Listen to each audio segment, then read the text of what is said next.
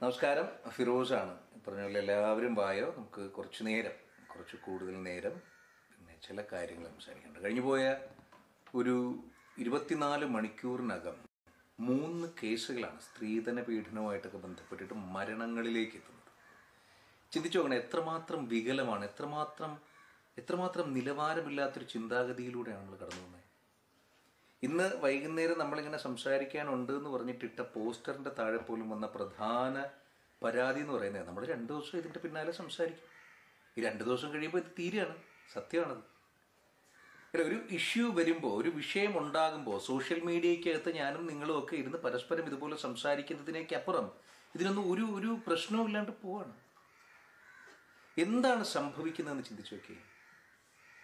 സ്ത്രീധനം ആയിരത്തി തൊള്ളായിരത്തി അറുപത്തി ഒന്നിൽ ആയിരത്തി തൊള്ളായിരത്തി അറുപത്തി ഒന്നിൽ നിയമപ്രകാരം നിരോധിച്ചൊരു സംഗതിയാണ്.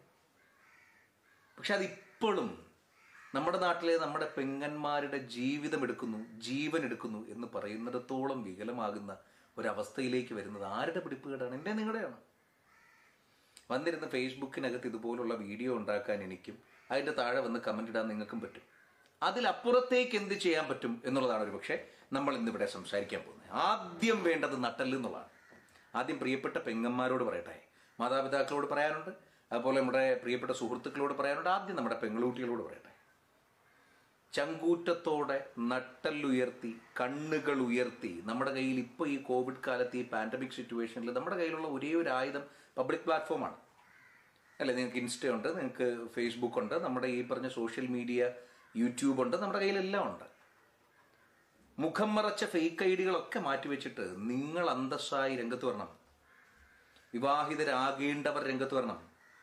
എന്നിട്ട് നിങ്ങൾക്ക് വിലയിടാൻ നിങ്ങൾ ആരെയും അവകാശപ്പെടുത്തിയിട്ടില്ല എന്നുള്ളത് ഉറച്ചു വിളിച്ചു പറയണം.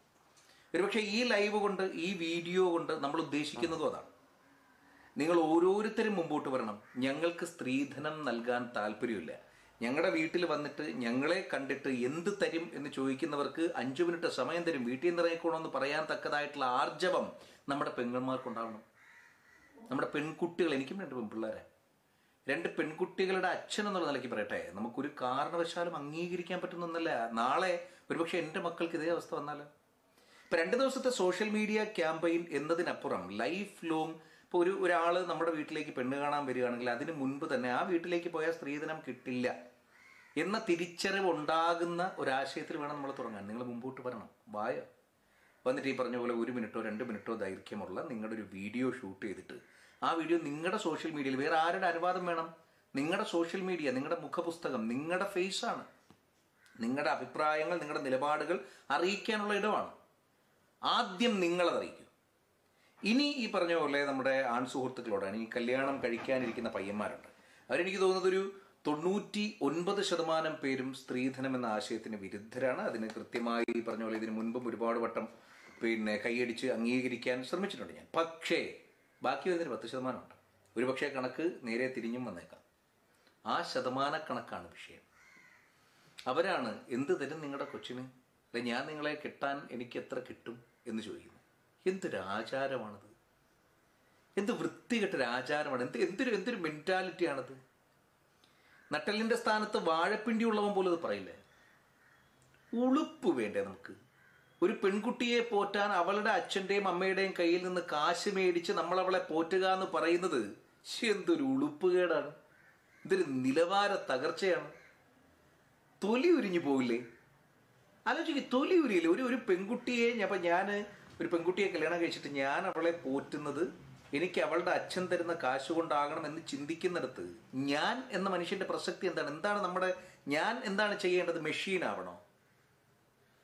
അതാണ് എനിക്ക് ആവശ്യമുള്ളതൊക്കെ അവളിൽ നിന്ന് സ്വീകരിക്കുക എന്നുള്ളതും മാത്രമല്ല അവളെ പോറ്റാനുള്ളത് ഞാൻ അവരുടെ വീട്ടുകാരിൽ നിന്ന് വാങ്ങിക്കുക എന്നുള്ളത്. എന്ത് തൊലി പൊളിയുന്ന നാണക്കേടാണ്.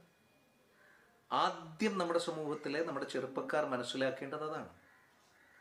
ഒരു കാരണവശാലും സ്ത്രീധനം വാങ്ങില്ല എന്ന് നമ്മൾ തീരുമാനിക്കേണ്ടതുണ്ട്. നമ്മളൊരു കാരണവശാലും സ്ത്രീധനം കൊടുക്കാൻ നമ്മുടെ പെങ്ങന്മാരെ കെട്ടിക്കുമ്പോൾ നമ്മൾ സ്ത്രീധനം കൊടുക്കില്ല എന്ന് ഉറപ്പിക്കേണ്ടതുണ്ട്. പെൺകുട്ടികളുടെ മാതാപിതാക്കൾ ഒരു കാരണവശാലും സ്ത്രീധനത്തിനെ കുറിച്ച് ചിന്തിക്കുക പോലുമില്ല എന്ന് ഉറപ്പിക്കേണ്ടതുണ്ട്. എനിക്കറിയാം പറയാൻ എളുപ്പമാണ്. നമ്മളിരുന്ന് ഇതുപോലെ ക്യാമറയുടെ മുമ്പിൽ പറയാൻ വളരെ സിമ്പിളായിട്ടുള്ള കാര്യമാണ്. പക്ഷെ ഇതെങ്ങനെ പ്രാവർത്തികമാ പ്രാവർത്തികമാക്കാൻ പറ്റും? അതിനാദ്യം വേണ്ടത് നമ്മൾ നിലമ്പൂർ പോലെ കണ്ണൂർ പോലെ കേരളത്തിന്റെ ഒരുപാട് ഇടങ്ങൾ പോലെ കേരളം നാളെ അറിയപ്പെടേണ്ട ഒന്ന് സ്ത്രീധനം പൂർണമായി ഇല്ലാതാക്കപ്പെട്ട ജനങ്ങൾ മുൻകൈയെടുത്ത് ഇല്ലാതാക്കിയ ഒരു സംസ്ഥാനം എന്നുള്ളതിലാണെങ്കിൽ ജനങ്ങളായ നമ്മളാണ് അതിനകത്ത് ഇറങ്ങിത്തിരിക്കേണ്ടത്. ഏറ്റവും ആദ്യം നമ്മുടെ പ്രിയപ്പെട്ട പെൺകുട്ടികൾ ഒരു കുഞ്ഞു വീഡിയോ ചെയ്യും. ഞങ്ങൾ സ്ത്രീധനത്തിനെതിരാണ്. എന്നെ കെട്ടാൻ വരുന്നവന് സ്ത്രീധനം കൊടുക്കില്ല. അല്ലെ എന്റെ മകളെ കെട്ടാൻ വരുന്നവന് സ്ത്രീധനം എന്നുള്ളത് കൊടുക്കില്ല. നിങ്ങൾ ആദ്യം ഒരു വീഡിയോ ചെയ്യും. പോസ്റ്റ് ചെയ്യും. അപ്പോൾ നമ്മൾ ഇത് ഇതുകൊണ്ട് എന്താ ഗുണം? അതുകൊണ്ട് ഗുണമുണ്ട്. അത് ചർച്ചയാവും. ഏത് മൂവ്മെന്റും ഏത് വിപ്ലവവും ഏത് വിഷയങ്ങളും ഏറ്റവും ആദ്യത്തെ ചർച്ചകളിൽ നിന്നാണ് ഏറ്റവും ആദ്യത്തെ ആശയവിനിമയങ്ങളിൽ നിന്നാണ് ആരംഭിച്ചിട്ടുള്ളത്. നിങ്ങൾ അങ്ങനെ ചെയ്തു നോക്കിയേ. ചെറുപ്പക്കാർ മുമ്പോട്ട് പോയോ? പയ്യന്മാർ മുമ്പോട്ട് പോയോ? എന്നിട്ട് പയ്യന്മാർ പറഞ്ഞേ നമ്മുടെ ചെറുപ്പക്കാർ പറഞ്ഞേ ഞാൻ വിവാഹിതനാവുകയാണെങ്കിൽ ഞാനൊരു കാരണവശാലും ഒരു കാരണവശാലും സ്ത്രീധനം എന്നതിനെ വാങ്ങുകയോ പ്രോത്സാഹിപ്പിക്കുകയില്ല. ഒരു വീഡിയോ ചെയ്തേ. അത്തരത്തിൽ നൂറുകണക്കിന് വീഡിയോകൾ ഇങ്ങനെ പെരുകുമ്പോൾ സ്വാഭാവികമായത് ചർച്ചയാവും ഇനി മാതാപിതാക്കളോടാണ്. എന്റെ പൊന്ന് കാരണവന്മാരെ നിങ്ങൾ ജീവിച്ചിരുന്ന ജീവിതമല്ല ഇപ്പോഴത്തെ ജീവിതം. നിങ്ങൾ ജീവിച്ചിരുന്ന കാലവുമല്ല ഇപ്പോഴത്തെ കാലം. നിങ്ങൾ ജീവിച്ചിരുന്ന കാലത്തിനെ കുറിച്ച് കൂടുതൽ സംസാരിക്കുകയാണെങ്കിൽ ഇതിനേക്കാൾ കൂടുതൽ വിഷയങ്ങൾ ഉണ്ടായിട്ടുണ്ടാവും. പക്ഷെ ഇപ്പോൾ അതല്ല കാലം. പിള്ളേരെ അവരുടെ വഴിക്ക് വിടൂ. നിങ്ങൾ അവർക്ക് സ്ത്രീധനം കൊടുക്കാനോ അല്ലെങ്കിൽ സ്ത്രീധനം കൊടുത്ത് കെട്ടിക്കാതെ നിങ്ങൾക്ക് നാണക്കേടുണ്ടാകാനോ അല്ലെങ്കിൽ ഡിവോഴ്സായി പോയാലോ വീട്ടിൽ വന്ന് നിൽക്കണ്ടേ? നമുക്ക് നാണക്കേടല്ലേ? ഈ പരിപാടി വിടൂ. ഈ വീഡിയോയുടെ ആശയം തന്നെ അഡ്ജസ്റ്റ്മെന്റ് എന്ന പദത്തിനെതിരെയാണ്. നമ്മൾ എന്താണ് സ്ത്രീധനം എന്ന ആ- ഒരു വലിയ ദുരാചാരം കൊണ്ട് നമുക്കുണ്ടാകുന്ന ഏറ്റവും വലിയ പ്രശ്നം തരും അഡ്ജസ്റ്റ്മെന്റ് ആണ്. അത് എന്റെ മകളെ മറ്റൊരു പുരുഷന് കല്യാണം കഴിച്ചു കൊടുക്കുന്നതിന് വേണ്ടിയിട്ട് ഞാൻ അവനോട് അഡ്ജസ്റ്റ് ചെയ്യുന്ന പണമാണ് സ്ത്രീധനം. അല്ലേ? സ്ത്രീധനം കുറഞ്ഞു പോയി കഴിഞ്ഞാൽ നീ അഡ്ജസ്റ്റ് ചെയ്യണം. നീ സ്ത്രീധനം കുറഞ്ഞില്ലേ പോലും നീ അഡ്ജസ്റ്റ് ചെയ്യണം. പൊതുവായിട്ടുള്ള കുറേ കാഴ്ചപ്പാടുകളുണ്ട് കുറേ അനാവശ്യ ചിന്തകളുണ്ട്. ഒരു ഒരാൾ ഒരു ഒരു പുരുഷൻ ഒരു സ്ത്രീയെ വിവാഹം കഴിച്ചു. വീട്ടിൽ നിന്ന് പറഞ്ഞു വിടുന്ന ഉപദേശങ്ങളിൽ ആദ്യത്തതാണ് അവൻ ഇച്ചിരി ദേഷ്യമൊക്കെ വരും. നീ അഡ്ജസ്റ്റ് ചെയ്യണം. എന്തിന് അഡ്ജസ്റ്റ് ചെയ്യണം?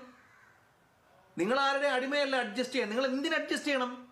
ഒരു പുരുഷന്റെ ദേഷ്യത്തിന് മുമ്പിൽ അഡ്ജസ്റ്റ് ചെയ്യേണ്ടതല്ല നിങ്ങളുടെ വ്യക്തിത്വം. വിവാഹം എന്നത് രണ്ട് വ്യക്തികൾക്കിടയിൽ സംഭവിക്കുന്ന കാര്യങ്ങളാണെങ്കിൽ ആ ആൾക്ക് ദേഷ്യം വരുമെങ്കിൽ നിങ്ങൾക്കും ദേഷ്യം വരും. രണ്ടാളും പരസ്പരം അഡ്ജസ്റ്റ് ചെയ്ത് ദാമ്പത്യം മുമ്പോട്ട് കൊണ്ടുപോകണം. പക്ഷെ സ്ത്രീധനത്തിന്റെ പേരിൽ ഒരു അഡ്ജസ്റ്റ്മെന്റിന്റെ ആവശ്യമില്ല. അതുപോലെ പറ്റുന്നുണ്ട് കല്യാണം കഴിഞ്ഞു. ഇത്രയും ദിവസം നീ അവിടെ ഭർത്താവിന്റെ വീട്ടിൽ നിന്നു. ഇനിയിപ്പോ നീ അവിടെ നീ സ്ത്രീധനത്തിന്റെ പേരിൽ വഴക്കൊക്കെ ഉണ്ടാക്കിയിട്ട് വന്ന്. വീണ്ടും നമ്മുടെ വീട്ടിൽ നിൽക്കുന്ന നാണക്കേടല്ല? എന്ത് നാണക്കേട്?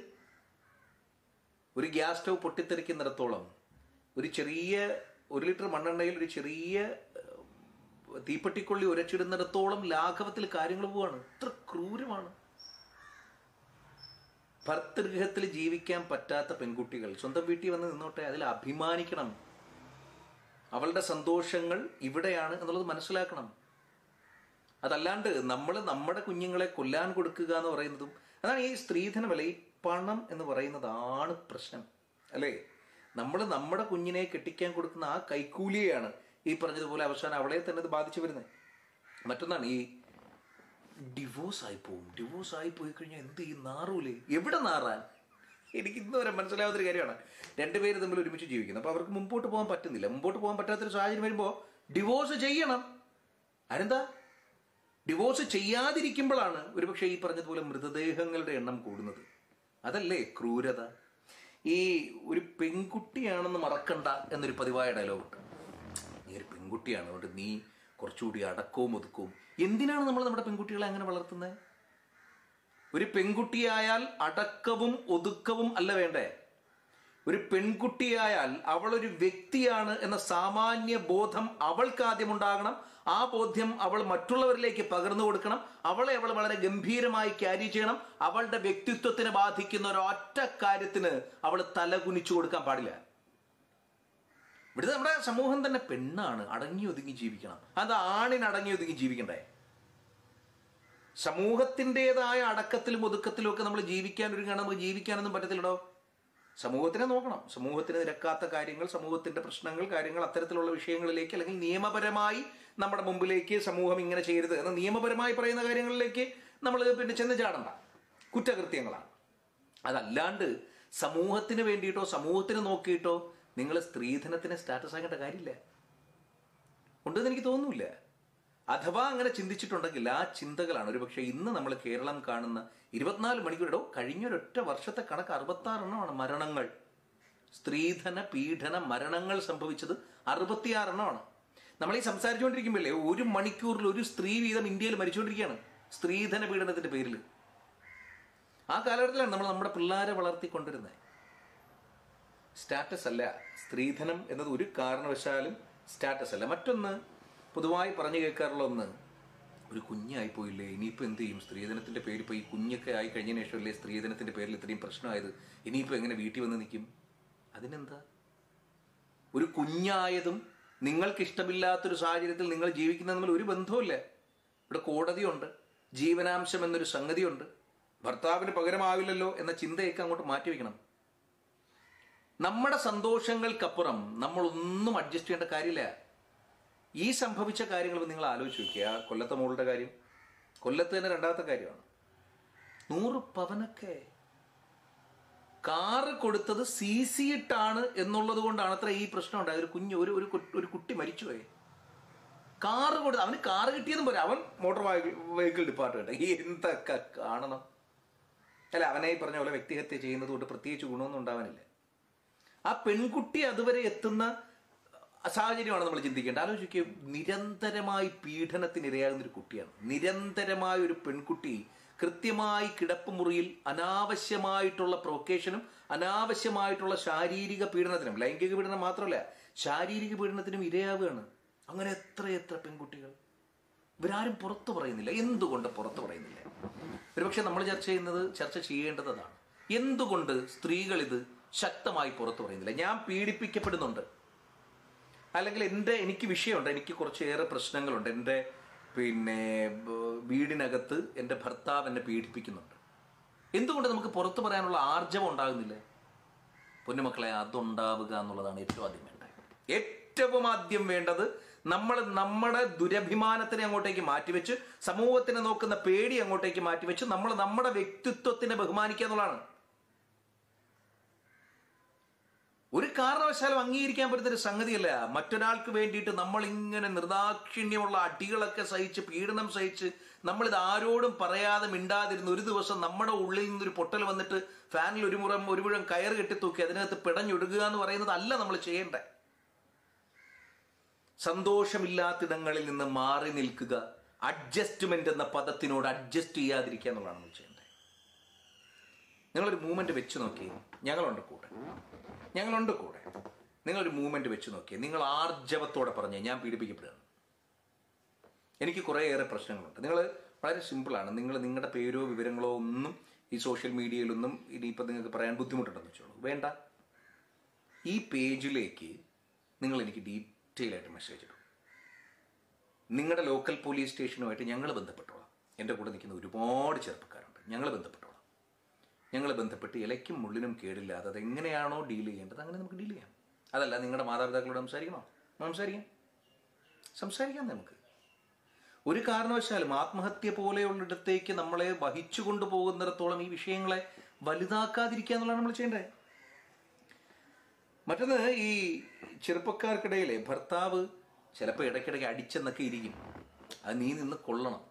മാതാപിതാക്കൾ ഉപദേശിക്കുന്ന സംഗതിയാണ്. ഒരു കാരണവശാലും ആ ഡയലോഗിന് മാത്രം ഒരു കാരണവശാലും ചെവി കൊടുക്കരുത്. നമ്മുടെ ദേഹത്തോടെ ഒരുത്തനും അവകാശമില്ല. ഇനി ഭർത്താവാണെങ്കിലും ശരി വളർന്നു കഴിഞ്ഞാൽ അച്ഛനാണെങ്കിലും ശരി. നിങ്ങളൊരു വ്യക്തിയാണ്. നിങ്ങൾ പീഡിപ്പിക്കപ്പെടേണ്ടവരല്ല. നിങ്ങൾ നിരന്തരം ഉപയോഗിക്കപ്പെട്ടുകൊണ്ടിരിക്കുന്നവരല്ല. നിങ്ങളൊരു മെഷീനല്ല. നിങ്ങൾ വ്യക്തികളാണ്. നിങ്ങളുടെ വ്യക്തിത്വത്തിന് വിലയുണ്ട്.